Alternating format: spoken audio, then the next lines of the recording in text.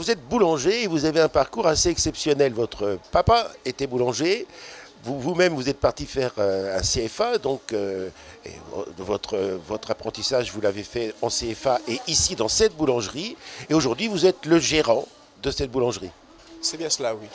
Donc vous avez fait le tour en fait euh, J'ai fait, je dirais pas que j'ai fait le tour, mais j'ai fait, j'ai, fait un peu les contours du, métier, effectivement.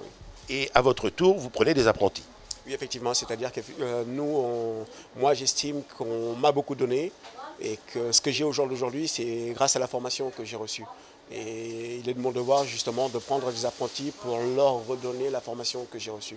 Cette transmission Cette transmission, elle est nécessaire parce qu'effectivement, au jour d'aujourd'hui, quand on est un minimum amoureux du métier qu'on pratique, on a envie qu'il y ait des jeunes derrière qui prennent la relève. Et nous, on a à cœur justement parce qu'on est conscient que le milieu de la boulangerie, dans le milieu de la boulangerie, il y a eu une certaine époque où la qualité était à redire. Et nous, on prend des apprentis, justement, on les forme aujourd'hui, on essaie de leur donner le maximum de notre savoir, de ce qu'on sait faire, pour que justement, essayer de relancer ce métier qu'est le nôtre. Parce qu'on a envie justement, pas seulement nous, de vivre de ce métier, mais on a envie qu'après nous, ce métier survive. Et ça passe forcément par des apprentis qu'on forme pour avoir des ouvriers plus tard de qualité. Ils ont de la chance, les apprentis, parce qu'en plus de ça, vous avez été primé meilleure baguette de, Paris et de la, région parisienne, c'est ça?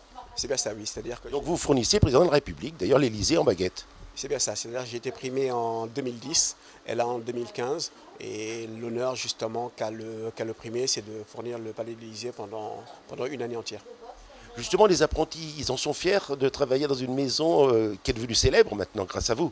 Oui, bien sûr, bien évidemment, euh, bien évidemment ils, sont, ils, sont, ils sont très contents effectivement de travailler avec nous, mais c'est pas que ça, c'est pas que le fait euh, qu'on ait été primé qui, font qui, fait que les apprentis sont là aujourd'hui. C'est-à-dire que nous, quand on travaille avec les apprentis, on a aussi une relation de, de confiance avec eux. C'est-à-dire qu'ils ont confiance en nous parce qu'ils savent qu'on va leur transmettre le maximum de ce, que nous, de, ce que nous on fait. Mais on le fait aussi dans un certain respect. C'est-à-dire qu'on essaye de ne pas stresser nos apprentis, on essaye de leur apprendre le, métier de, la façon, de façon à pas, pas les stresser du tout parce qu'on est conscient que c'est la meilleure façon justement pour qu'ils pour qu'ils donnent le, maximum, le, meilleur de leur potentiel. Vous avez donc été euh, apprenti. Les choses ont changé entre le, moment où vous avez fait votre apprentissage et l'apprentissage d'aujourd'hui? Les choses ont quand même un peu changé. C'est-à-dire que nous, effectivement, on a fait un apprentissage un peu plus dur que celui que, que, celui qu'on dispense aujourd'hui. C'est-à-dire qu'à l'époque, on avait déjà des horaires qui étaient dignes de ceux d'un ouvrier. Aujourd'hui, on a des apprentis qui commencent assez jeunes, qui sont quand même assez fragiles. Et nous, on prend ça un peu plus en compte. On a, on a ce côté technique. Euh, on est un peu, euh, je trouve qu'on est un peu plus technique que ce qu'on était à l'époque. Donc, on a toute cette technique qu'on essaye justement de leur inculquer et on leur, transmet le, le, travail. Mais ces apprentis, il faut savoir aussi que ce sont des jeunes qui sont, qui sont un peu immatures quand ils arrivent ici. Ils arrivent dans le monde du travail et notre, notre boulot à nous, c'est pas seulement de leur apprendre la partie professionnelle, mais c'est aussi de leur apprendre les devoirs d'un apprenti. C'est-à-dire que quand un apprenti il arrive chez nous, il faut lui apprendre ce qu'est la ponctualité, le respect des autres, c'est un métier euh, difficile, la boulangerie. Les horaires sont, euh, sont assez difficiles. Est-ce que c'est pour ça que euh, finalement, il n'y a, a pas assez d'apprentis dans la boulangerie? Il y a de ça. C'est-à-dire qu'effectivement, c'est vrai que c'est un métier qui est contraignant. Il y a des horaires qui sont très difficiles. Il y a, on a un devoir envers notre clientèle de qualité. La qualité, c'est pas parce qu'on la maîtrise une fois qu'on la maîtrise pour toujours, donc il y a une, remise en question de, au quotidien. Donc c'est vrai que ce sont des choses qui font peur au départ aux, jeunes.